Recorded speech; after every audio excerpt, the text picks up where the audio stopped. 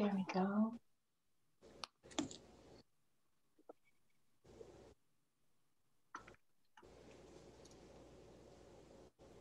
For everyone joining, we'd love to know where you're joining from. You can pop that in the chat.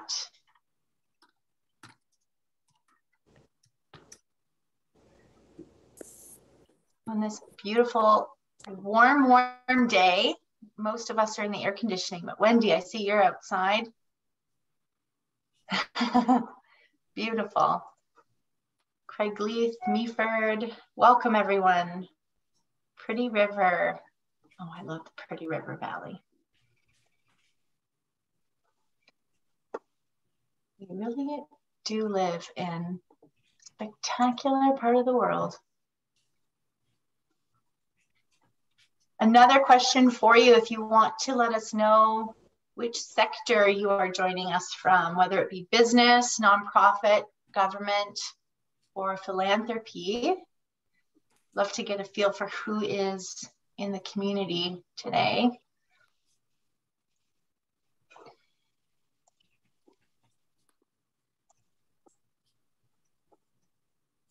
Hey, sorry, I'm just wondering, how do you do the chat? No problem. There should be, uh, Jasmine, a little um, icon at the bottom that looks like a little um, a speech bubble. It's been a long time. I haven't done Zoom for a long time where I've had to do chat. Let me just see here. No problem. or there's there I'm might be a, more I'm on, a, I'm on a mobile, so it's a bit different. I know the interface. It's just yeah. see here. Oh, okay. If I click on that chat, oh, I get it. Okay. Awesome. Okay, thanks. I, I get it. Awesome, thanks. Member of a co-op. Counselors, welcome everyone. We're gonna keep admitting.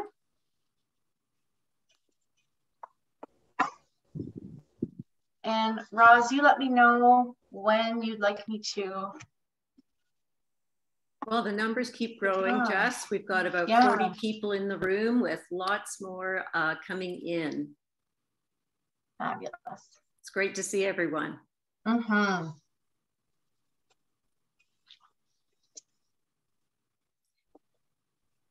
So just asked earlier, if you just joined us, to um, please uh, tell us where you're coming from today and what uh, sector you're involved with. Are you involved in business or nonprofit or philanthropic or government?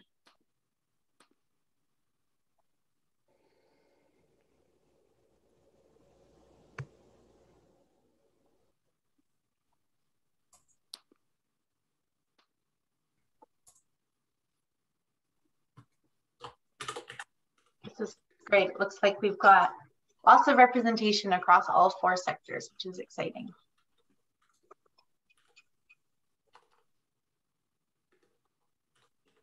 If you haven't let us know yet where you're tuning in from, please do that as well.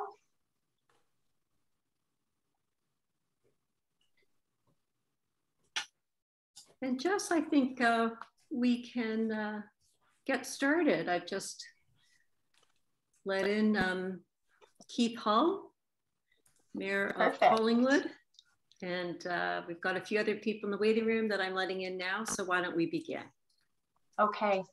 Well, welcome everyone. My name is Jess Flynn. I was brought on by Roz and the Institute to help facilitate these very, very important meetings. Um, this is part two in the Sustainable um, Economies of Sustainable Communities series, and it's all about affordable housing. And we are looking to some really powerful data to drive effective decision making. Uh, so the goal of these events are to bring residents, businesses, government, nonprofit, and philanthropic leaders together to discuss what each of us can do to help. This community conversation for the Grey Simcoe region is a chance to hear what the numbers tell us about finding home in our communities in the midst of a housing crisis. The goal of this event is to bring us all together in those four sectors to discuss how each of us can help. Um, our speakers today are going to be sharing their data perspective from two recently published reports with lots of great information. These reports illustrate the magnitude of this community challenge and how it affects all of us. Through this knowledge sharing, we are better positioned to move toward solution making, where each of us can play a role, each of us in this room and in the wider community. So the goals of what are being shared today, we're going to introduce you to these reports, to this data, and that perspective on the current housing crisis. We're going to review key points in that data that will spark cross-community participation and we'll weave the idea of sustainable communities and housing affordability for all into this community conversation. Uh, before I go any further, as we're talking about uh, the great land that we all reside in, we do want to take a moment and review our land acknowledgement for this beautiful region. We would like to begin by acknowledging that we are on the lands that we have been occupied for over 8,000 years. We are gathered on the traditional territories of the Anishinaabeg Nation, the Petun, and later the traditional territory of the Saugeen Ojibwe Nation, and the members of the Three Fires Confederacy, Ottawa, Potawatomi, and Ojibwe. The Huron, Wendat, and the Haudenosaunee nations have also walked this territory over time. These First Peoples are the past, present, and future caretakers of this land. This land is also home to many other diverse nations, Inuit and Métis people, both past and present. We are grateful for the opportunity to share in the riches of Southern Georgian Bay and its neighboring territories and to steward this land together. So we are hoping that today you are engaged participants uh, and are a part of this learning and uh, hope to plan on continuing participating in the solution to this issue. We're going to introduce the idea of community engagement and seeking and financing some of these critical social solutions. And please use the chat to discuss and we'll try and come up with some solutions today in the housing crisis um, for future publications, similar to the ones that we're looking at today. So it's a very busy uh, group today. It's so good to see so many people on the call. Roz and I will be working together in the chat. We are going to try and address everyone's questions and concerns after our speakers uh, present the data to us. Um, and with that, I will pass it on to Yvonne. Oh, thank you very much, Jess. I'm Yvonne Hamlin. Uh, there's a deck there that you have, Jess, I think. Um, yeah. I'm going to start for those who are new uh, to this series, just tell you a bit about the Institute of Southern Georgian Bay. Uh, and as the uh, front page states, we're volunteer driven, always looking for help, not for profit, think and do tank. And next slide. So this map shows the six municipalities that the Institute uh, calls generally the area of southern Georgian Bay. Collingwood, Wasaga Beach, Clearview, Town of Blue Mountains, Grey Highlands, and Meaford. Uh, next slide. The Institute has a vision. It has four parts to it. Uh, number one, harnessing the power of people in place where in southern Georgian Bay. Why? To grow social, environmental, and economic prosperity. And lastly, to be the smartest, greenest, healthiest, and most caring region in Ontario. Next slide. The Institute believes in collaboration. That would be the biggest takeaway I think you could take from uh, this particular slide. Collaboration among residents, businesses, local government, nonprofits, and philanthropic organizations in Southern Georgian Bay.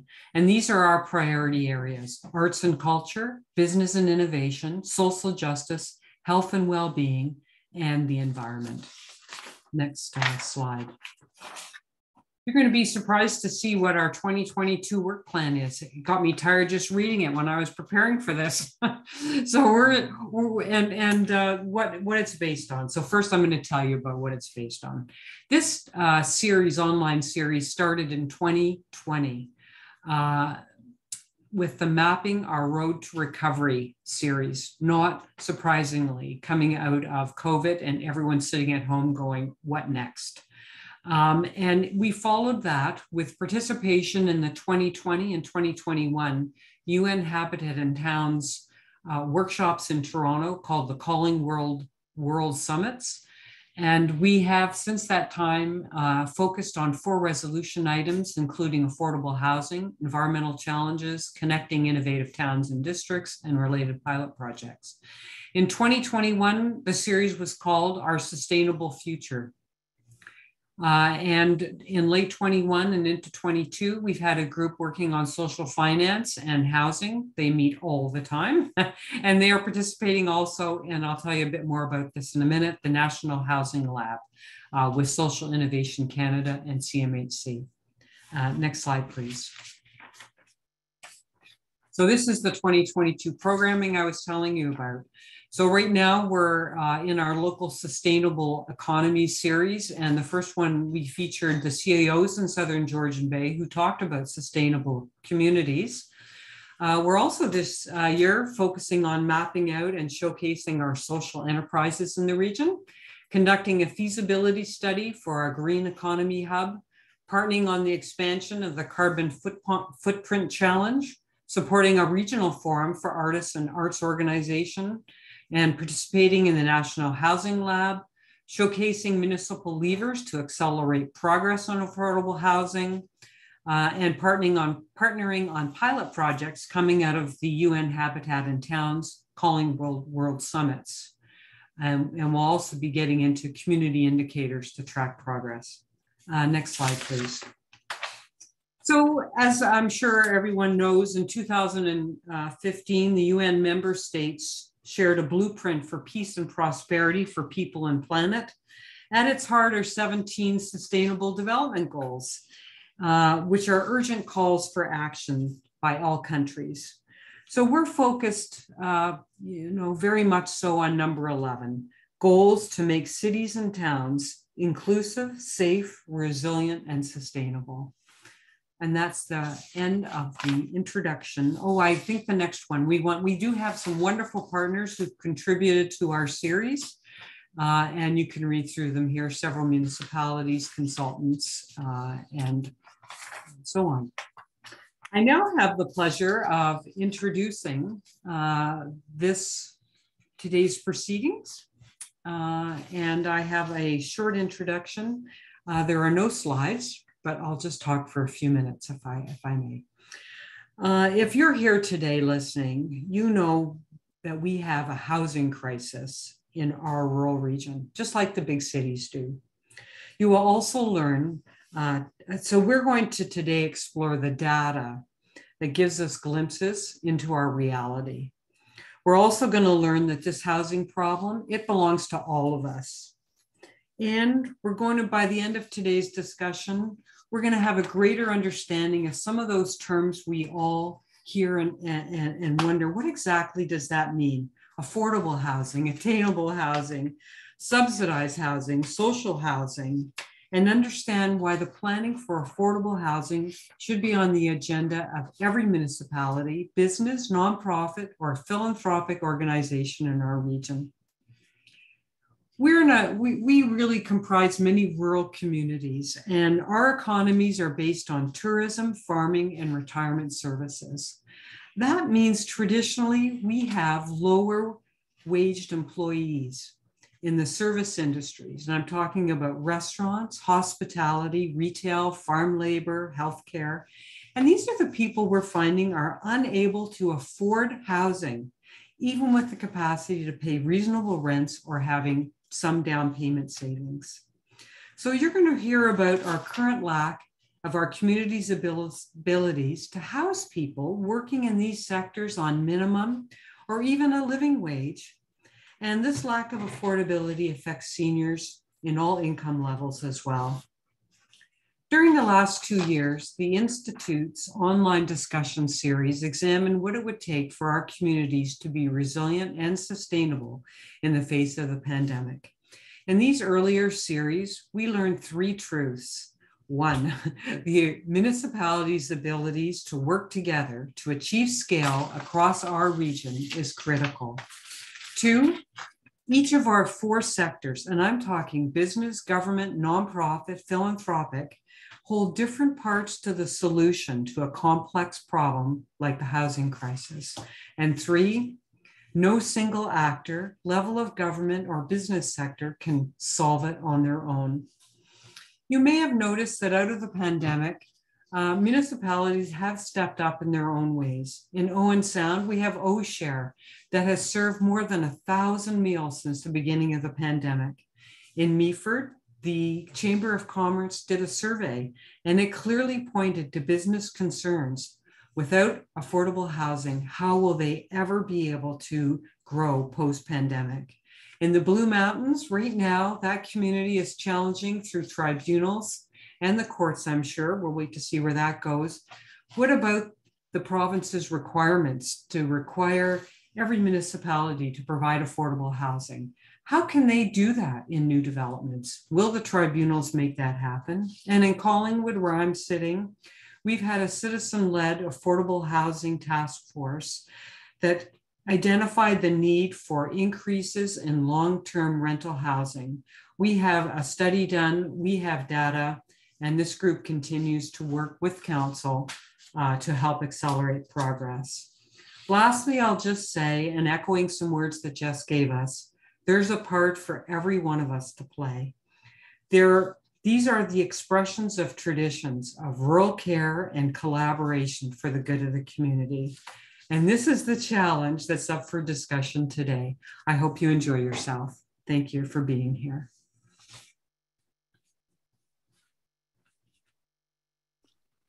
Thank you so much, Yvonne. Uh, you summarized uh, a lot of the work that our um, committees, various design teams, and, and, certainly the social finance and uh, housing group uh, has been working on. And, uh, and many parts of the uh, challenge have been put together by one of our fearless leaders, Marilyn Struthers, who is helping guide us through this process. Um, good afternoon. I'm Rosalind Morrison. I'm chair of the Institute of Southern Georgian Bay. And again, thank you to Jess uh, and Yvonne for helping out with this particular event. And it's now my pleasure to introduce our wonderful speakers for today. Stuart Reid is going to be first up, and Stuart is the executive director of the Community Foundation Grey Bruce.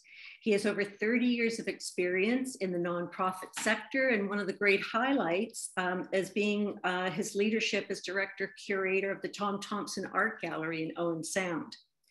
Stuart and Christine McGregor, Community Outreach Officer at the Community Foundation, were contributing writers of the Vital Focus on Housing report, which is one of the many uh, vital signs reports that the Community Foundation has produced. After Stuart, we will hear from Marg Shevan who also has 30 years of experience, but in totally other area as a realtor in Southern Georgian Bay. Her well-informed insights and experience in housing, as well as community planning systems, has made her a natural leader in her roles as vice chair of the Collingwood Affordable Housing Task Force, as well as chair of the regional Affordable Housing Task Force, South Georgian Bay. Marg is best known as a passionate advocate of housing for all. Interesting that these two reports that we'll hear highlights from today have had so much community involvement from so many committee members in various sectors. And that's how the future is going to unfold uh, as we work together in collaboration. So now, Stuart, I think you're up first. Over to you. Thank you, Roz. And uh, my colleague, uh, Christine McGregor is gonna help me out and run the slides uh, this afternoon. And uh, I'm gonna be uh, presenting, telling you a little bit about vital signs, which is the mechanism we've used to uh, pull together this report. And um, since 2016, Community Foundation Grey Bruce has been engaged with vital signs work um, our local foundation is part of a national network of uh, community foundations right across the country. Now we number over 200 from coast to coast to coast. Um, and uh, community foundations um, of Canada estimate that uh, over 90% of Canadians are served by a community foundation, and collectively, our network manages more than $6.2 billion in assets. So we're very much engaged in um, supporting community well-being. And uh, to grant strategically from our endowed assets, we rely on vital signs to provide local knowledge so that we can direct local impact. Um, so uh, Vital Signs itself is a community checkup that measures vitality, identifies significant trends, and supports action on issues that are critical to our quality of life, including housing as we see today. So in 2016, on the left, that's the cover of our first Vital Signs report, which was a full um, reckoning with data that addressed um, quite a roster of indicators of community well-being. You can see on the cover, health and wellness, arts and culture, education and lifelong learning, living standards, the environment, and community connections. We followed that up with a shorter, uh, more pointed vital focus on youth in 2018. And um, youth um, dug into issue clusters that they identified as important to them. And uh, things like um, you know, transportation, having a voice in the community, the lack of youth spaces, health and wellness, substance use, economic barriers that were perceived as well as identity, identity and belonging.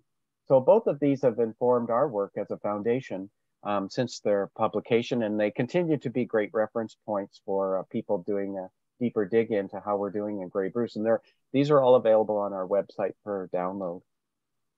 So um, housing, um, our vital focus on housing report aims to prompt conversation and broader awareness around issues that our community faces.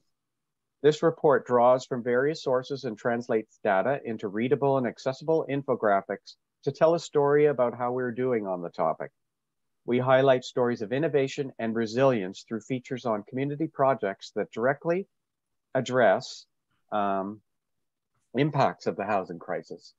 And um, we also set out in our opening statement, the foundation acknowledges that data and the way it's gathered relies on averages and summaries. And the very nature of the system may not encompass all people equally. So um, data is collected, but you know, you have to have an address and a home to participate in surveys and census. And what we do is we're acknowledging that not everyone has equal access to participate in that data. As well, we're a smaller population center, so it's di more difficult to reflect diverse perspectives in there. So we've tried to integrate um, voices with lived experience into the report by highlighting the projects that local um, organizations are engaged with.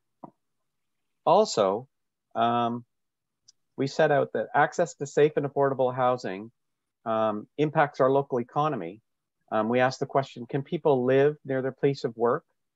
Um, the security of having a stable and safe home is directly linked to every homeowner and renter's sense of belonging and well-being.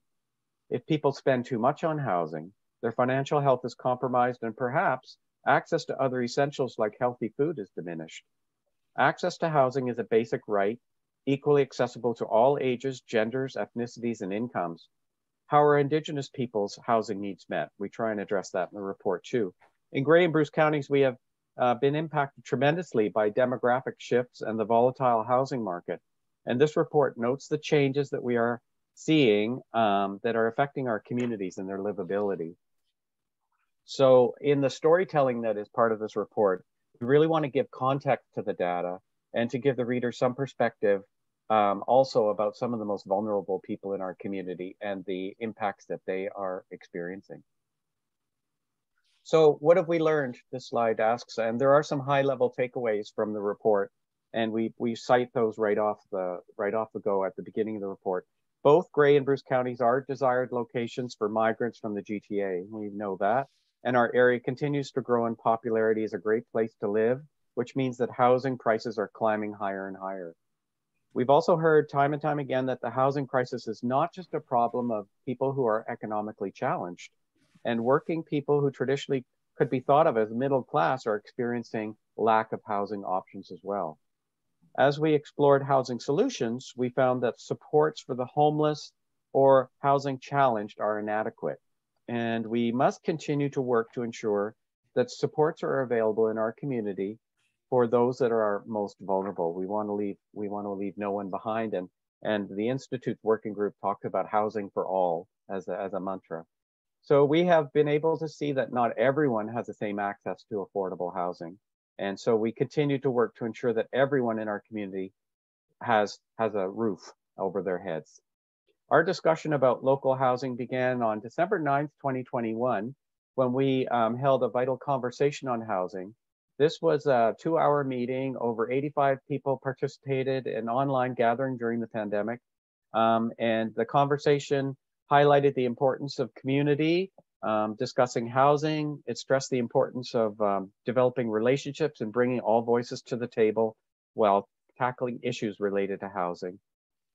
We held breakout sessions that invited perspectives from everyone that was on the call. So we also had scribes in each of the breakout rooms that were transcribing what they heard from people. So we were able to hear anecdotally um, some of the impacts on people's lives, uh, how what the housing crisis, how it was affecting them.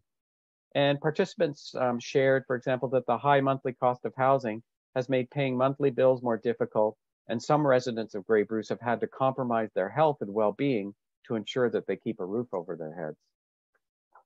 In our vital signs report, we tried to utilize the outcomes from that vital conversation uh, by integrating um, those anecdotal responses as key messages in throughout the report. We also did features on the four speakers who um, led the conversation during that evening as well. So it was really, really fodder for how we built the report.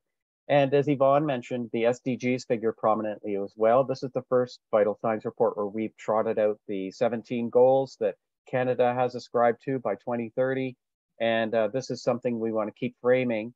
Um, the SDGs are a great way to link what we're doing locally with what needs to happen globally. And uh, there is no insignificant action. And um, addressing each of these and housing figures so prominently in many of these 17 goals, as you see when you move through, through our report. So in our report, um, next slide, Christine we um, have broken it down. We broke down what we had in terms of data into four clusters. And those are, as you can see on the screen, housing and housing affordability and availability, housing and equity, housing and living standards, and housing and well-being.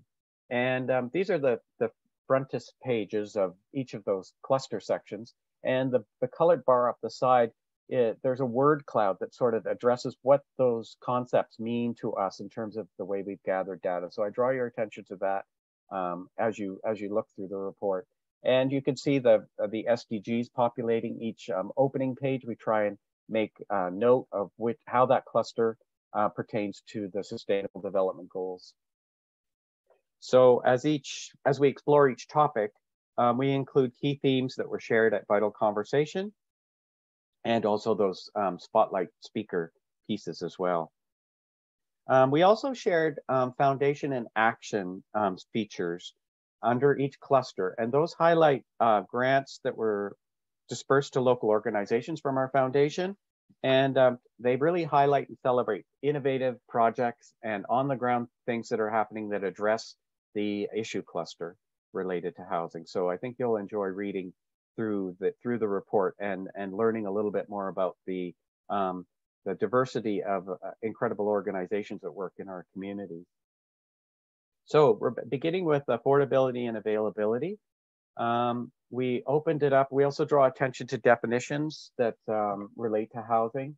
Um, under affordability and availability, just some quick stats here. Um, these uh, data points. Um, in 2021, the Realtors Association Grey Bruce Owen Sound report the comprehensive annual average price was $650,944.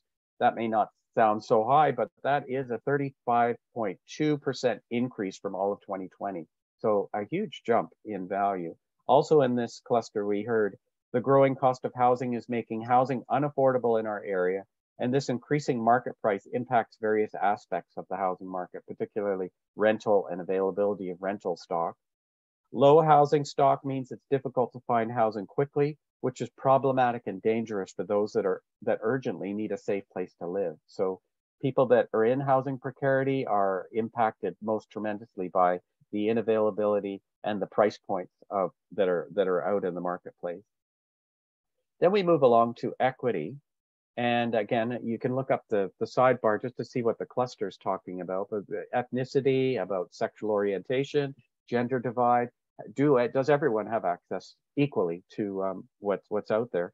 And we heard some um, hard hitting things too. 211, the United Ways um, call in line, received 706 calls from Grey County and 284 calls from Bruce County that identified housing as the main need in 2021.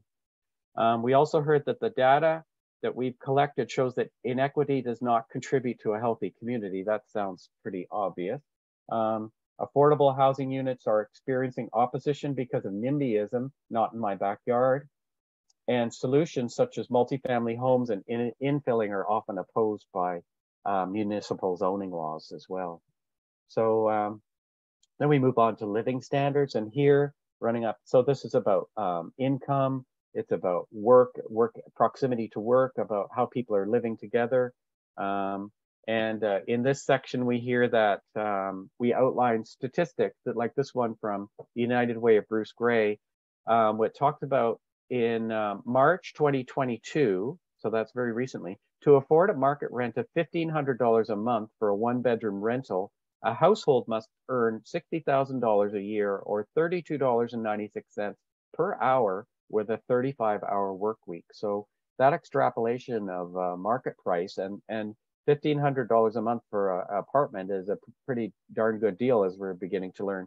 So that, that is uh, really uh, kind of frames the issue for us. Also, we heard, we write, um, the location of affordable housing is an important consideration for equal access.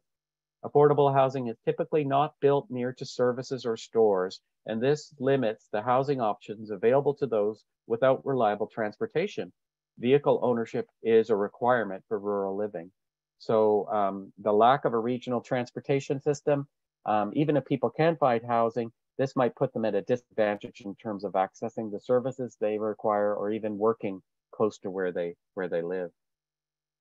And the final cluster um, talked about well-being and the the word cloud there, mental well-being, inclusive communities. We also talk about the health and safety of the housing stock that is out there. Um, we, we report housing is an intersectional subject and we want to ensure that housing is being developed to encourage inclusive communities so that people are being accepted by their neighbors. And uh, we also report those residents of Grey Bruce who, have, who report below average well-being are generally women who are under the age of 35 who are living on their own. Um, we also report in this section about the recent homelessness enumeration in Grey Bruce counties, which uh, reports some very um, um, amazing statistics. 142 households in Grey County and 77 households in Bruce County indicate they're experiencing homelessness. And then the, uh, the enumeration also um, gives light to the interrelationship of uh, housing precarity with other social um, um, uh, conditions such as mental illness or having a physical limitation, having a learning or cognitive limitation, a mental health concern, or even a substance use concern. Um, those percentages figure prominently in how uh, with people that have reported uh, housing precarity. So um, our report, uh, I think there is optimism. Um, communities are resilient, um, embracing uh, diversity and inclusion, we move, move into a fertile plane where new ideas of how to live together in cooperation emerge and flourish. Partnerships are cited as the real solution. How, and we said that right off the top of this meeting, how new new relationships between philanthropy and government and or uh, not-for-profit organizations and and municipalities they have to be forged to really address the complexity of the issues that we're facing. And um, I refer you to our website. I hope that this uh, gives you, whets your appetite and you wanna learn more. Um, the report's available for download. And as well as our report, um, below it, you'll see that data source document button. Um, that is a, is a link to the uh, source document uh, that provides you a path to the actual data that we use to uh, put the report together. So if you really wanna go into deep dive learning, you can you can follow through on that data source document to go to the source reports, which will give you an even broader perspective on the uh, crisis we're collectively facing. But thank you for your attention today. And thank you, Christine, for running the slides. Thank you so much, Stuart. That was a great presentation. Um, you know, vital signs reports are helping to build community knowledge right across the country and around the world. And your report has been written so beautifully. The way that you've got the data clusters, the way that you're telling the, the insights from the speakers, from the big community conversation last December, your optimism in, in spreading the stories about the various projects that are happening. Um, everyone who is on this call, um, I encourage you to read this document. And as more and more municipalities start thinking about how do we build our own capacity for collecting data and analyzing it so that we understand these things, that uh, link that you've got at the bottom of the report is going to be so important for so many people. Um, you're getting some kudos in the chat. Um, I just wanted to echo your clarity on definitions and how your report speaks to um, surprising groups that are struggling, like uh, women who live on their own um, under the age of 35 are one of the groups that are struggling to find affordable housing. And what does affordable housing mean again? It's 30% of your gross household income, pre-tax that means, um, that you're spending on housing, on shelter. So rental or ownership, if you're spending more than that, you do not have enough money for all the other things that are required in life. So we're not talking about um, social housing specifically. This affordable housing issue affects all segments of our population. So uh, thank you for um, a wonderful uh, presentation. Um, Marilyn, um, not Marilyn, Marg, over to you. Thank you, Roz. Okay, between Yvonne, Stuart, and yourself, you said everything that I was going to say. So I'm just going to go grab a coffee, okay? bear with me here. You know, we have to say things seven times in seven different ways, Marg. As you always tell me.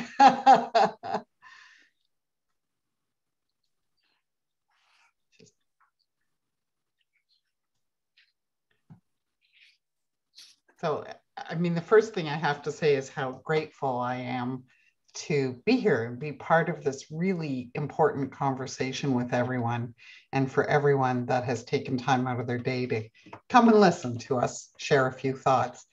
So, I don't think it's news to anybody, and you've heard it over and over that we have a housing crisis. We've become blind to the word home and really, I think what's happened is we've become addicted to property speculation and growing our personal wealth through real estate. Housing has really become a competitive sport where only those with the highest incomes and assets win. And that really isn't good news for our future sustainability as communities. So how did we get here? There's many, many reasons for it. Here's just a few. Single family zoning, which is roughly 70% of all properties in Canada, it only came to Canada in 1920. And since then, the world has changed dramatically. Today, we have less than half the number of people living in a house than we did back in 1920. Land back then was cheap and plentiful. In 1941, Canada had 2.2 million households, but today there are over 14 million. 30 to 40 years ago, in fact, 20 years ago, things like real estate investment trusts, short term rentals, condominiums, house flipping, HGTV, all didn't exist. What we've seen is a really big growing gap, wealth gap, and inequities in housing. We're not able to absorb the population growth that we have and the demographic changes unless we eliminate the forms of exclusionary zoning, like single family zoning, that block densification. We also know that the issue is really scary and complex. As has been mentioned, when people don't have housing that they can afford, regardless of income level, then there's not enough dollars left at the end of each month to eat well. There's not enough disposable dollars to shop local. We can't maintain or grow our labor force we start to lose our businesses. And all of this is already happening here. This really is a problem for everyone in the community and not just for those who lack adequate housing. It affects us all. Whoops. As part of the committee's research, we heard from over 400 people experiencing challenges in securing housing. And I want to take a minute to honor those voices by just sharing a few of the hundreds of stories that we heard. So I'm going to pause here for a minute or so so you can read these.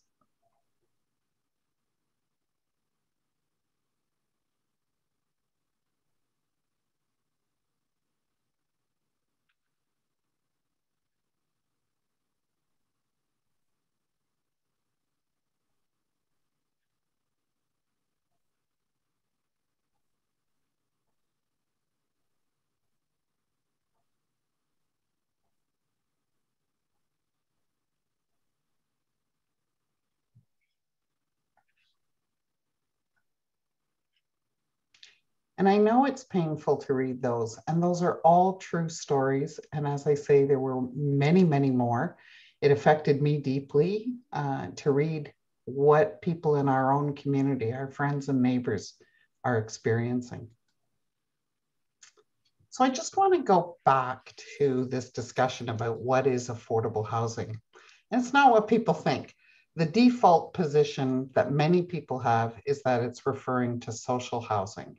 And social housing is typically people in uh, under the 30th percentile of income. That is not affordable housing. It's part of affordable housing, but it's not the definition. As Roz said, it's when people are spending no more than 30% of the gross household income on shelters. So whether that's rent or mortgage payment, realty taxes, and utilities. I'm going to say it again affordable housing and social housing are two different things. It doesn't matter if you make 20,000 a year or 200,000 a year. It's still 30%. So this is what we say, housing for all, and we need complete communities for all people in order to be sustainable. When it comes to um, attainable housing, there is no universally accepted definition. In our area, we have different municipalities using that term with different definitions. It's quite funny. If you Google it, you'll see multiple different de uh, definitions. But I would say typically people are referring to workforce housing when they refer to attainable housing. So getting into some of the things that have happened. So one of the often overlooked areas of concern is the rate at which we are losing housing stock. A study that was done in Ottawa last year showed that they lost 15 affordable housing units for every one that they created. So while we don't have hard data here, if we look at South Georgian Bay, we know that we've lost untold numbers of affordable housing units to gentrification, vacancy decontrol, short-term rental accommodations, property sales, demolitions. Rooming houses have been converted to boutique hotels. Tenants have been displaced when their homes have been sold, and we've seen demolition of affordable units in favor of upscale or supersized homes. And while this has been happening, how many affordable units have been created in our region? I would suggest that here, the ratio of units lost to those cre uh, created is far greater than 15 to 1. So it really starts with preserving the units that we have. While it won't solve the whole problem, municipalities do have tools uh, at their disposal, such as rental replacement bylaws to help tackle the challenge. According to the 2016 census, over 5,500 households in our area were in core housing need, meaning households that are living in unaffordable, inadequate, or unsuitable housing. Now, that was in 2016 when the median price of a home was less than half of what it costs today in South Georgian Bay. So, what might that number be today after what we've seen happen in the real estate market? We do know that four times as many renter households are in core housing need compared to homeowners. Renters' median gross household incomes are on average only 50% of those in homeowner families very often an, an overlooked statistic. So you can see on the screen there, in South Georgian Bay, median household income in 2016 was 62,671. Homeowners were 76,521 and renters were under $40,000. So when we're looking at uh, setting targets in a municipality for what we need, what we understand now is in order to have sustainable economies, the greatest need that we have is for rental housing. It should be understood that a middle income renter family can't be spending more than about $1,000 a month now on shelter costs. This is simply impossible in our area without some kind of significant change in policy direction and intervention. Did you know that to rent a one bedroom apartment now in South Georgian Bay would require an income of $37 an hour? The median rent for something larger would require an annual income of $120,000. In regard to ownership, only people in the top 10% of income in our area could afford to buy a house today. And the scary thing is, we're seeing this decline in the real estate market that's happening actually has the effect of putting upward pressure on rental prices. A few other little things. In South Georgian Bay, 81% of people own their home and 19% rent. Interesting. With the average price of a home now over $1.1 million, how are we going to retain or grow our labor force? 65% of our labor force in this region uh, works in retail trade, healthcare, or food services, and many earn well below a living wage. In 2015, almost half of the renters in our region spent more than 30% of their income on shelter. Given what's happened and that rental rates have soared in the last couple of years. What might that number be today? People are struggling. We've heard from hospitals, police forces, engineering firms, and so many others. They're having great difficulties attracting workers due to the price of shelter. And without people working in those sectors, you can see how it would affect each and every one of us. No homes, no workers, no business. As was mentioned earlier, the solutions require all stakeholders to work together. Municipalities, other levels of government, developers, philanthropists, the business community, and not-for-profit entities need to work together to find innovative solutions. For example, towns can encourage and seed the formation of not-for-profit entities that remove land from the speculative market and preserve them for the creation of affordable housing community land trusts, social financing, and nonprofit development are all happening around the country. While municipalities do have limited financial scope to deal with these issues and regulatory, they do have tools at their disposal.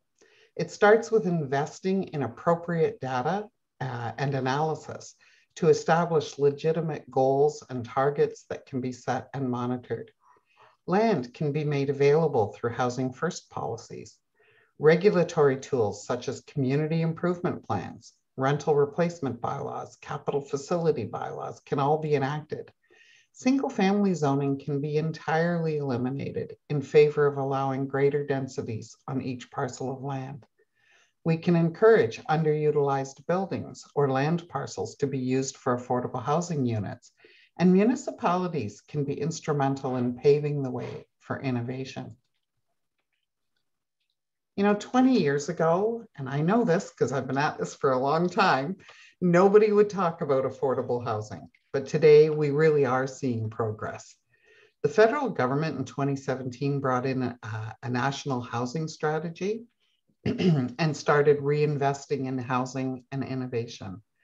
The province engaged an affordable housing task force and has started adjusting policies around housing. In our region, municipalities are starting to recognize that affordable housing is a priority. Town of Blue Mountains led the way with forming the Attainable Housing Corporation, I believe in 2013. Collingwood has uh, an affordable housing task force and Meaford uh, and Wasaga Beach have recently passed motions to proceed in the same direction. Clearview has a motion on the table on Monday to form a committee. So work is being done to share knowledge and best practices regionally. And slowly that needle is starting to move. So what can you do right now? You can ask your town to form an affordable housing committee. It's an election year, folks. and then volunteer and support those efforts. Instead of being a NIMBY and saying, no, not in my backyard, be a YIMBY and say yes to housing for all. Look for emerging opportunities to volunteer and or invest in things like a community land trust, community bonds, or a not-for-profit housing corporation. Think about ways that businesses, churches, and other sectors you may be connected to can be part of the solution. And the important thing is let's start focusing on solutions and not just on the problems. We all need to work on this together. We have to find a way forward, and today is an opportunity for you to share what you feel should happen next. Thank you so much for listening.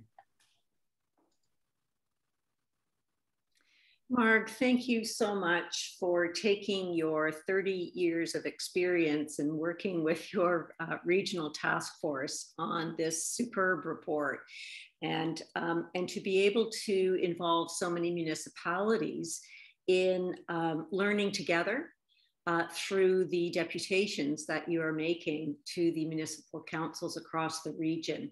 Um, the, the number of uh, residents and citizens who have been involved in the various committees that you've been involved with uh, is a great sign of progress. And I love the fact that you uh, featured all the progress that was being made because we sometimes feel overwhelmed with such a complex and big issue like housing. Um, so we're all on this learning journey, and you make it so easy for us to absorb uh, the key elements that we need to be thinking about. Um, some of the things that, that really popped out for me is the, um, the stories that you shared from the people who are experiencing difficulty finding a home. Um, at the, the, you know, understanding how did we get here over several decades and um, not forgetting our history and thinking about, well, what policies were in place 30 or 40 years ago to help the situation post-war, as an example, and seeing some of those changes being made. Um, the core housing need number of 5,500 and change uh, from 2016 is, is probably, as you say, much higher. And so we need to be thinking about that uh, challenging issue of putting all the players at the table who actually make uh, rental housing happen. And, you know, in terms of next steps, how do we think about setting the table, if you will, to invite all those people, as you've invited everyone on this call, to think about what they can do? How do we put those groups together so that we can develop solutions together? So thank you so much for a wonderful presentation. Um, Jess is going to be putting into the chat very soon um, what question would you like to ask our speakers, which she's popped in there now, about what the numbers tell us about housing in our community? Do you have specific questions? Uh, everyone on this call uh, about the numbers? We'll start there before we dive deeply into our collective solution discussion. Roz, have you, has everyone seen the links too to the reports and then a couple of questions about the numbers? Did those come into the chat? They did? Okay, perfect. I have a, a, question while while the chat's getting generated there about, you know, both Stuart and Marg spoke about volunteering on committees. Can you kind of give us a, a layout of what these committees work on and, and what what happens with the work and, and with the data that's collected? Well, um, in terms of the affordable housing committees that we've been talking about in South Georgian Bay for each municipality, it's driving first of all and foremost uh, data collection and interpretation of that data because most municipalities don't really know what do they have and what do they need and how do you get there. And then it's taking a look at all the many, many tools that exist in a municipal toolkit and what municipalities can do and help guide and make recommendations to the individual councils as to how those things can fit within their municipalities And it sounds kind of scary for somebody that doesn't work in that space, but I can tell you, having done it with Collingwood, a number of people uh, on the committee had no experience in this area and now um, know lots of things because we all did learning together and arrived at amazing conclusions. So, you know, people really do need, I, I had the mayor of one municipality express to me that they were concerned about forming a committee because they didn't feel anybody would volunteer.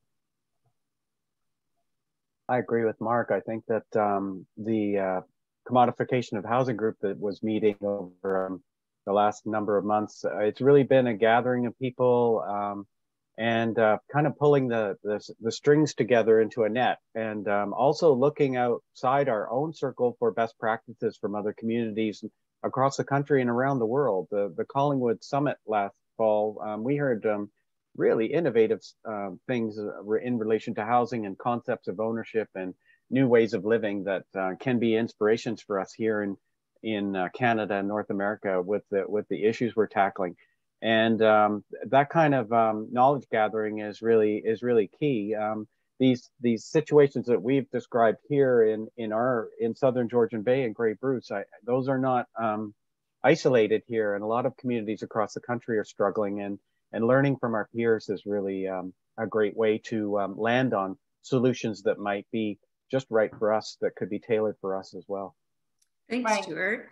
Jess, I'm going to let you um, look at the chat and um, mm -hmm. and before we get to you with those questions that are now starting to roll in, uh, Jasmine, you have your hand up. What would you like to say? Try and figure this out. Okay. Yeah, um, I'm really interested in attending this meeting, first of all. Um, I'm someone that, sorry, is currently experiencing homelessness. And I know a lot of people that personally now in Owen Sound and uh, particularly who are in the situation. Well, we're very happy. So emotional. Yeah, no, I mean it's it's a heartbreaking so I, situation. Um, sorry, I didn't mean to be so emotional. Uh, what yeah, like and uh, so I'm sorry. What would you like to share today? Well, um, I've gone, I, I do have firsthand experience now over the last year and a half, actually, not being housed. And um, so I have a lot of information and stories and experiences um, firsthand. And I've um, very passionate about this situation. And uh, one thing I just did two nights ago, um, I uh, I went through the YMCA Owen Sound job board, and having been someone who is has an undergrad honors in music performance as a classically trained professional musician with the Montreal Symphony for over 20 years, owned a home in Montreal. I have two children, 16 and 20. I come from Tara, so it's just a little bit outside of Owen Sound, and had to return because as a single parent, um, who's the father of my children, did not pay child support. So I supported my kids on my own um, on a musician's salary. Now that was a very good salary in Montreal, the top that you can make in Canada, but still wasn't good enough. Um, had to return to the area with my children and immediately discovered it would be impossible to purchase a house on my own. And as the years have accumulated, I now find myself, it's absolutely impossible. It was already impossible to rent in 2017. I returned in 2017. Um, and so as a professional musician, I was working in still Montreal for several years while, it's while I moved back here. My kids were enrolled then locally in school, and I was still working um, in Montreal for two years consistently because that's where my work was. But I just so, and then as and I worked in the Toronto in Toronto as the Canadian Opera Company, which I just finished a contract this spring. Uh, pandemic was very harsh uh, for, for preferring our live artists, but besides that, um, with the pandemic not being able to make a living doing what I did, living now locally fully, um, I was reduced to only minimum wage jobs, the only thing I could do. So I was working at Tim Hortons and Staples for the for about two years, year and a half. Uh, I would have to say that's impossible. I was renting, I stayed in a motel for six months while working, paying and making arrangements financially to find a fee I could pay weekly for a room. There was no other options. Um, and also then I was reduced to a bedroom, which would be 600 bucks a month. And that back then was cheap. It's, come up even just for a bedroom. Um, and so it's, uh, you know, looking at the job board, I do think it's very important point is that here in Owen Sound, I'm just, that there's 183 jobs there two days ago. And the majority of them are all labor, retail, fast food. That's minimum wage, and that's very hard. So that's my little point. Sorry, I, I have. It's it's not a little point. What everyone has to say it's not a little point. It's um, a beautifully uh, told story, um, and in particular, um, showcases a very important sector in our communities, which are our artists and our art sector, and um, how much work we all have to do to uh, be able to understand what we need to do for artists um, uh, and to build a healthy yeah, and, and, that's a long conversation too. But but we'll connect later, Jasmine. I am so grateful that you joined this conversation to share, um, uh, you know, the reality of this situation that so many people are facing. Thank you. Um, I'm going to go to Jess for a question, um, and then um, Alar has his hand up. Jess, over to you. So the first question was from Joyce, and Joyce, I believe you're asking about the report. So were the reports um, that our speakers uh, spoke to, did it break it down within the county by town, um, kind of where those biggest pockets of need are geographically, even within the region?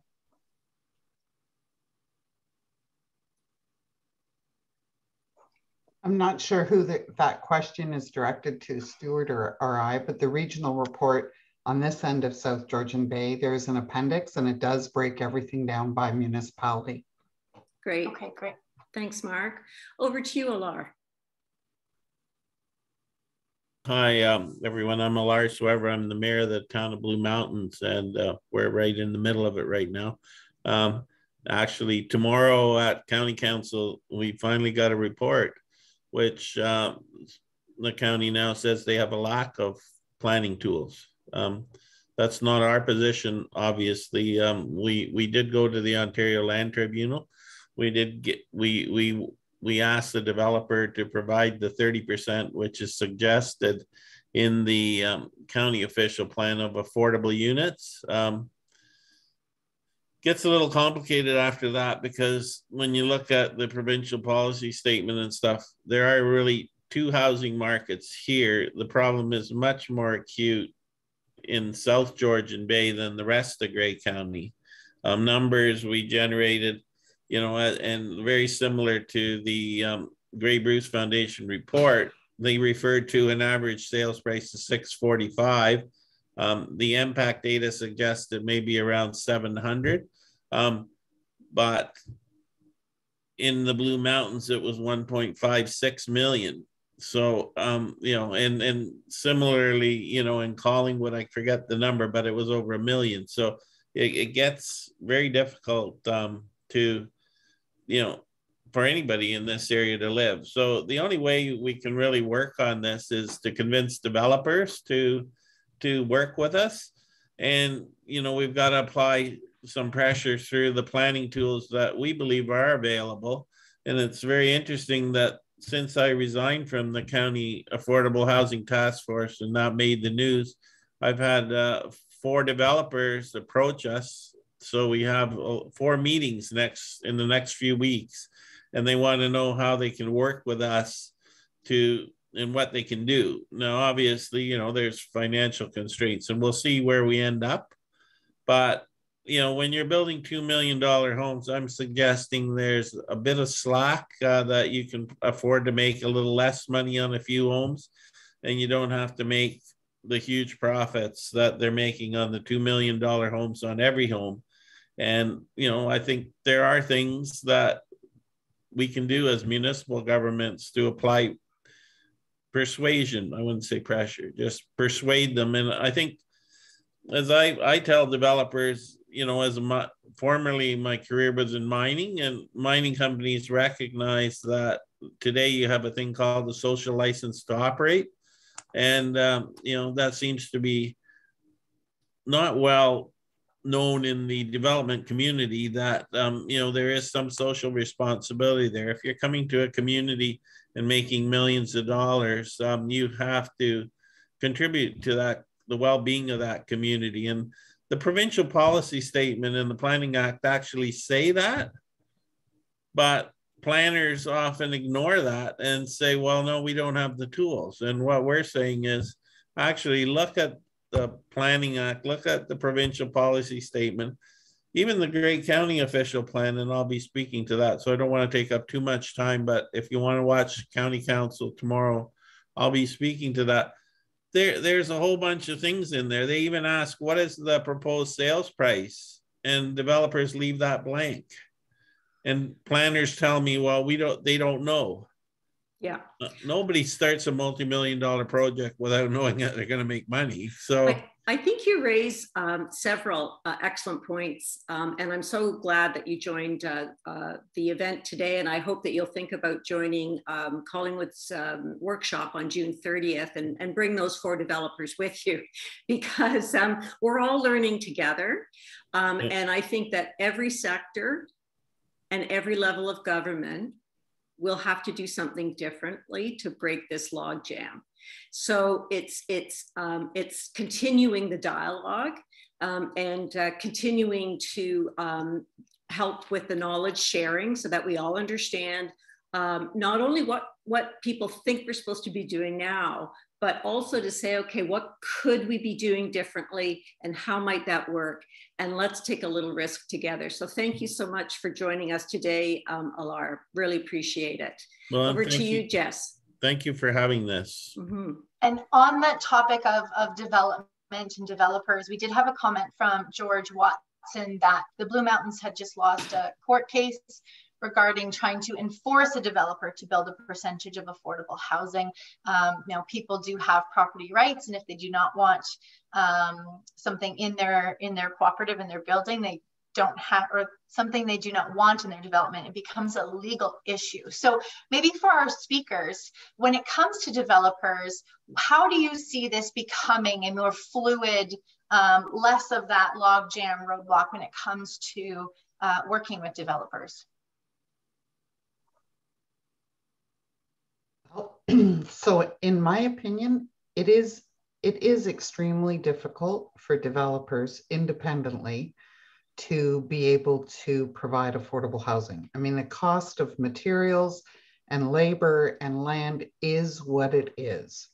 You know, there's no question about that. So, um, I mean, it's a big, big topic. It's not a little topic there are ways to do it. It's being done successfully. It's being done right within Simcoe and Grey counties with developers who are doing it. Uh, they have some area of expertise, but often it involves combining market rate housing uh, and affordable housing. So I just read yesterday in Barrie a development that's going up and 60% uh, of the units are luxury rentals and 40% are affordable and they're being combined. So um, that would be one example. There are many other examples, but as I say, it's too big a topic to do. And developers need to work with municipalities and others to get there. Thanks, Marg. Uh, before we go to Megan Miles's question, Jess, um, just George Watson has his hand up, and uh, he was the one that put that uh, point in. So, uh, George, if um, if you have a brief uh, response to that. Yeah, yeah, I do. Thank you very much. Uh, yeah, the, the government themselves, under their uh, More Homes, More Choices Act, talked about the two main things that contribute to uh, skyrocketing prices is uh, NIMBYism was number one and duplication of, of services uh, through the planning process to do that. And that, but they did come up with one good idea and Wasaga Beach is perfectly positioned for that because our largest landowner is the provincial government with Crown land of 4,600 acres in Wasaga Beach. And they talked about freeing up some of this land because land is a huge component of, of uh, producing uh, affordable housing. So if the province can get their act together to do it, then that's going to really help the situation. And I know myself and our council is going to be pushing um, because of all the land in town to get that freed up to uh, embark on that journey to get some affordable housing through those means. And, and the province has pointed out themselves. Thank you. Thanks, George. Thanks, George. Um, okay, Megan asked, do you have a best practice for a committee's terms of reference? How can municipal councillor empower them to make meaningful contributions?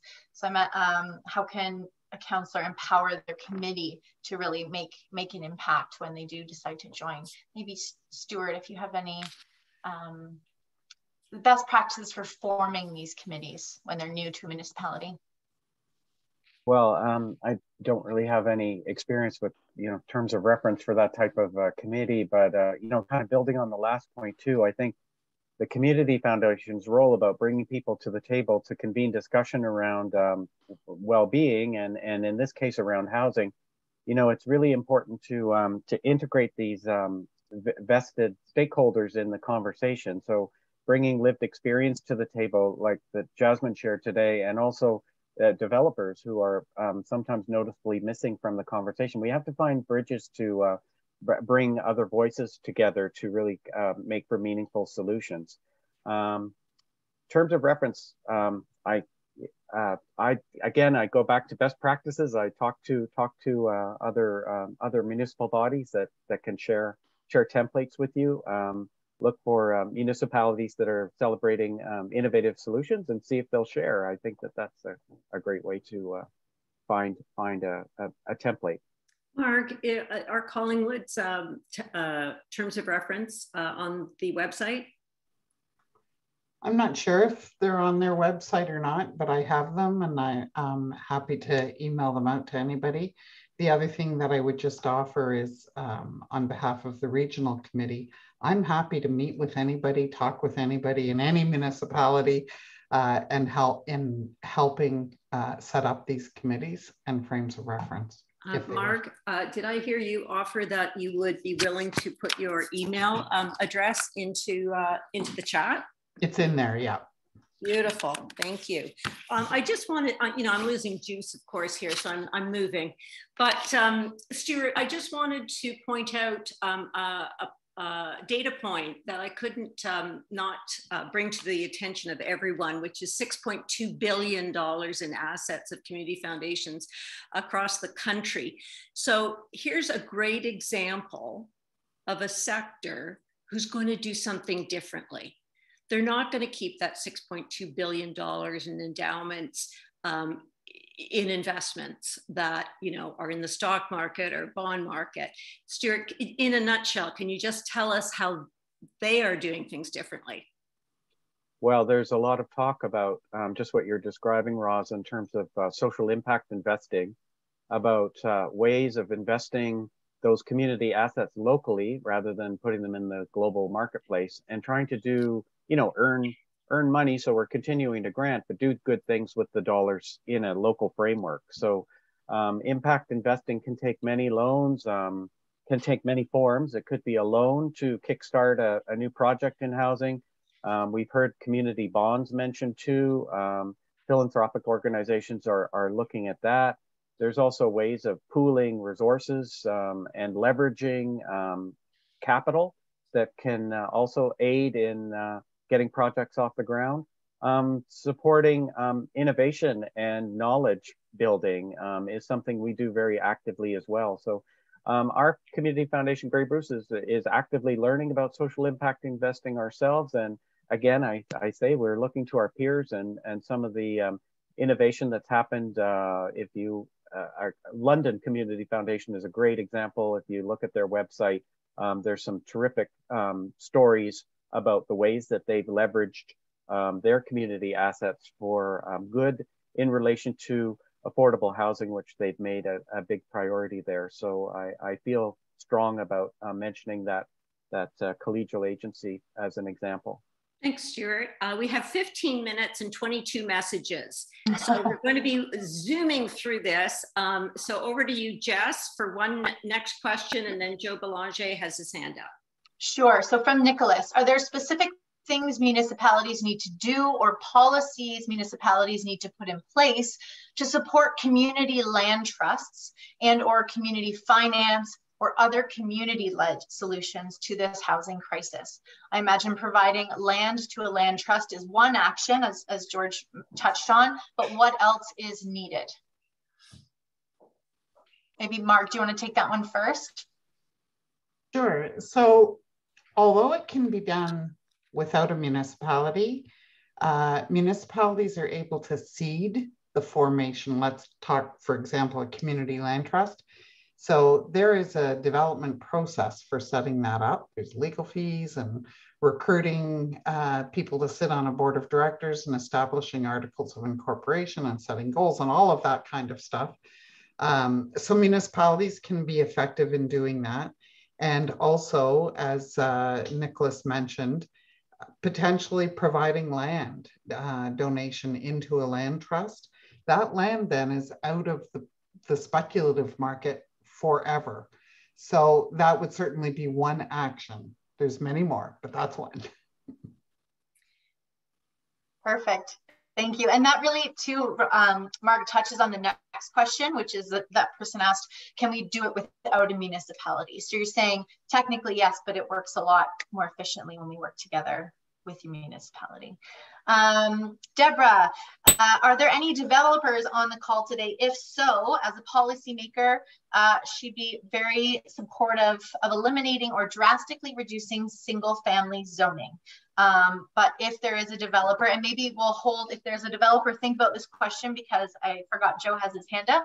Um, so if there's someone who could answer that, what kind of pushback would there be from those who do build and sell homes on that change of the zoning. And then uh, Joe, we'll, we'll throw it over to you now. Thank you. Uh, my comments are a little around uh, workforce housing, which we're touching on. And uh, what I don't hear very often and what I've become aware of uh, from uh, situations that happened in Whistler some time ago during the Olympics where they were having a crisis on workforce housing was they created restricted housing. And restricted housing, what's really good about that is it keeps it affordable over time. Like often we could do incentives or we could uh, discount land and uh, and and if those are affordable but then become market driven after the fact, they can become unaffordable very quickly.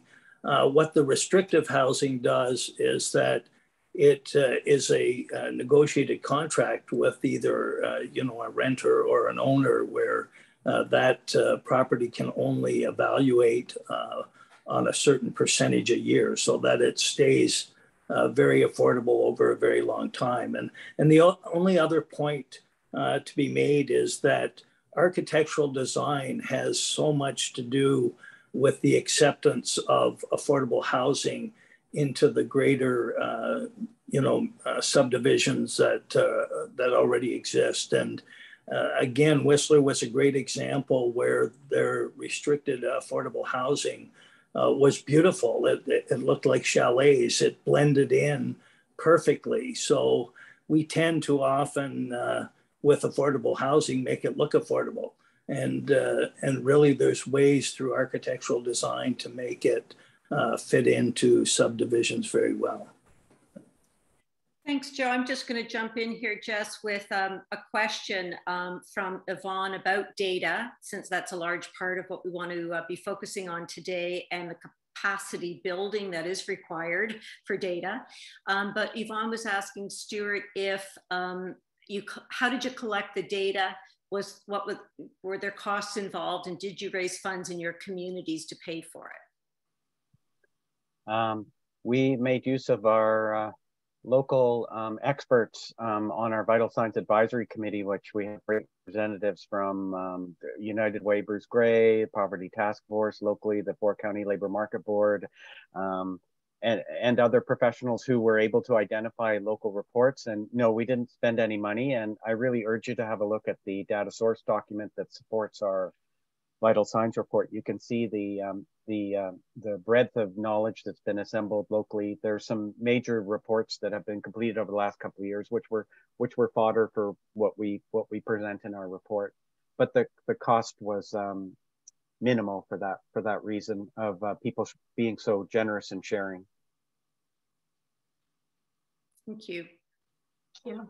Um, Sharon posed a question. I read a recent article about municipalities allowing backyard small houses. And she said they don't believe Collingwood allows this. Is this seen as something that can really help the situation? Comment. And then others have gone on to comment that this is indeed, you know, coming to our area. But Marg, when you've been seeing it, I mean, I've seen it newly introduced 2016, 2017 with more infill opportunities and secondary suites. Do you think that is really making a difference? Um, and what, what scale of a difference can that approach make? So, I mean, I have personal feelings on that. I, I, increasing housing stock always can contribute to helping. However, if there are no affordability metrics attached to that, it just becomes another expensive rental. And so uh, there is a possibility that municipalities can tie that where permissions for they're called ADUs um, may be tied to some kind of an affordability metric, particularly if there's any government funds involved, say forgiveness of, of uh, fees, that type of thing. So they can help. What's very disappointing is that the legislation exists um, and all municipalities, in fact, are required to develop policies around ADUs, which are actually the ability to have a second secondary unit on a property. Uh, and to the best of my knowledge, and I'm sure I'll be corrected if I'm wrong, but none of the municipalities in South Georgian Bay have done that. And I find that very disappointing because it's something that can happen fast. Thank you for that. Um, and we're posing the question, we're posing it in the chat, and, and I think it's a great question, Roz, for our speakers as well. Um, with all the work that we, you're seeing and all of the data and the reports, and you both had really great slides that celebrate what we are seeing and what you think would be uh, great next steps. If we were to be 10x bolder uh, in our community and implementing an affordability for all approach, what would we be doing?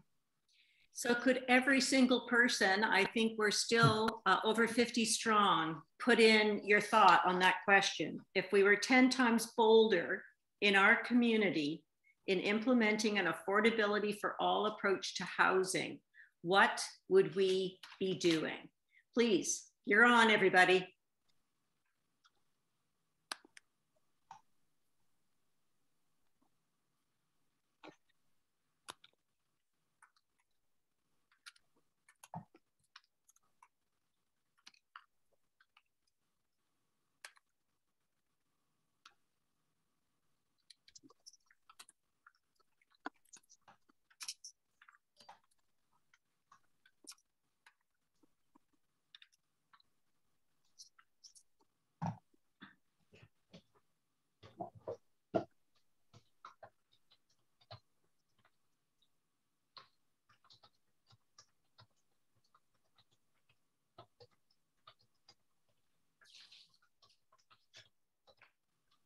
Like Jason's answer, providing municipal land for development at no cost for these projects. Um, we've got more joining us, which is great. Um, ask for an affordable committee, housing committee, and volunteer. Um, create a nonprofit housing corp to raise funds, find land, and get building. Um, I agree. I think seeing, I was very excited to hear today that there is movement on the single family zoning. Um, I know that's that's been a blockage that my you know demographic is seeing and, and hoping to see change. Enforcing the social license to invest in workforce housing. Engage those with lived experience as active participants in the planning and action teams. And as Stuart mentioned, like we don't have to reinvent the wheel necessarily. Look outside of our community and see how it's being done. Um, building smaller, integrating affordable housing in every new development and intensification, ensuring zoning bylaws support housing, zoning land to create mixed housing. So these are phenomenal ideas and and I think one of the call to actions as well is going into the summer, we are going to have a bit of a break between today in our next meeting in September.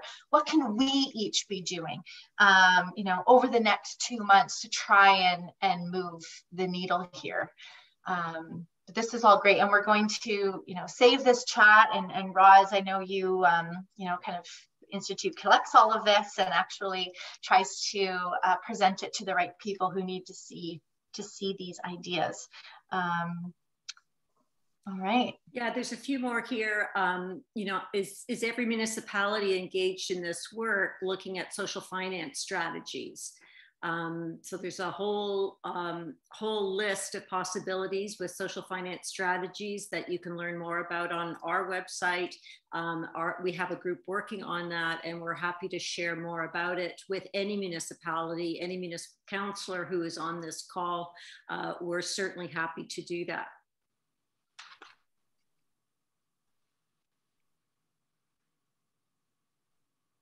Jill Umbach parallel programming, we also need to ensure current housing stock remains safe and affordable. Indeed. Mm. Develop a housing fund with a percentage of annual property taxes going to the fund, plus encouraging philanthropic contributions, using the funds to develop affordable housing. Using modular technology. I mean, that's going on in a lot of places around the world that we haven't really seen yet a lot of here. Love to explore the notion of restricted housing as in Whistler um, and incent owners of small homes to participate somehow to avoid small affordable houses being transformed into McMansions.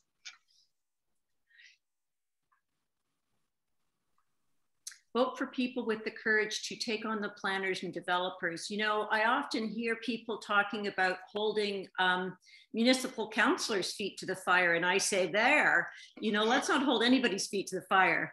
We're going to have to figure out how to work together um, and how each of us can do something significant to make a difference here. Um, but for sure, uh, we need to vote for people with courage there's no question um, about that. Um, there's so many more ideas in the chat and we've only got a few minutes to wrap up and respect everyone's time. Uh, we are so grateful that you all participated in this. Uh, we're going to um, save this chat and we're going to report on it in our upcoming newsletters.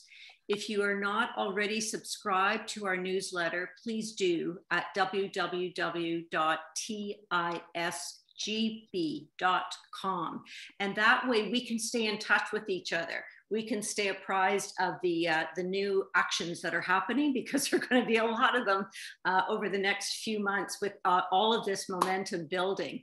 Um, so please, um, please uh, certainly subscribe to our newsletter.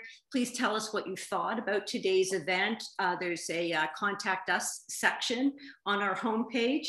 Um, Marg, and Stuart, thank you so much for all the work that you do in this particular area. Uh, the work is, uh, is not yet done, so I'm sure that we'll be gathering um, regularly to uh, continue to move the needle on this. Um, all of you on the call, uh, you are invited uh, to the public event happening on June 30th, being led by Collingwood. It's an affordable housing workshop and you can go to Collingwood's website and find out how you can register. It will be a Zoom, um, uh, uh, no, it will be a webinar, webinar um, meeting, um, but your voices are important. And again, we're all on a learning journey. So we've got to, um, we've got to carve out the time to learn and to uh, talk with each other about what we can do here. Um, we're going to be sharing um, all of uh, your uh, future good ideas with our design teams. So whatever we hear from you, we, we put together design teams for our series. We're going to start up again in September and have four very important events this fall. So please do consider going to not only our homepage and subscribing to the newsletter, but also our Join Us page, because that is how we are able to keep all of our programming free. We really want everyone to be able to access the knowledge that's at the table today and from all of the other jurisdictions that we're involved with. Um, we will continue to be working on the National Housing Lab, which is being supported by uh, Social Innovation Canada and Canada Mortgage and Housing Corporation throughout the summer. Uh, we will be proposing speakers uh, that are working on very innovative ideas for Collingwood uh, World Summit number three, happening uh, October 31st and November 1st. Again, a public event, so please put that in your calendars as well. And um, I would like to thank all of our uh, partners from last year um, and in particular those who have already signed up to be partners with us this year, Greenland Consulting Engineers, Town of the Blue Mountains, Living Water Resort, and we assume many, many others in order to be able to work together to, um, to make progress on this. Thank you, Jessica Flynn, for being a wonderful uh, co-host. Um, and I think uh, that is it. We will see you uh, soon through the newsletter and certainly, um, hopefully at one of these workshops uh, and in the fall at our events. Have a good evening, everyone. Bye-bye.